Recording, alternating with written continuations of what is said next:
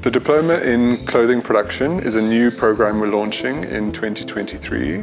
So this qualification is a three-year diploma and currently it will run on the Randburg and Hatfield campuses.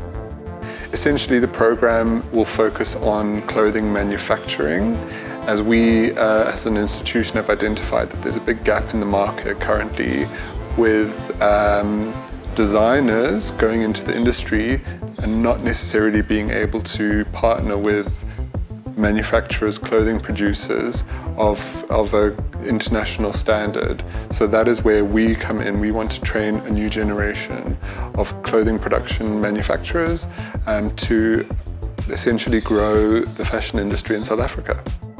This program com comprises of a really great bunch of modules um, the students can expect to do things like um, styling and merchandising planning. They will do apparel um, production, uh, as well as cultural uh, and historical studies, along with all the computer-related modules, um, such as computer literacy and then learning software like Lectra um, that will involve their pattern-making skills.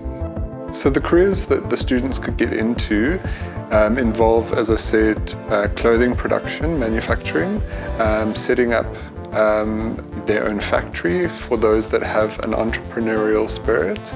Uh, they might want to get involved in pattern design and making, um, but essentially it will mean working very closely with the designer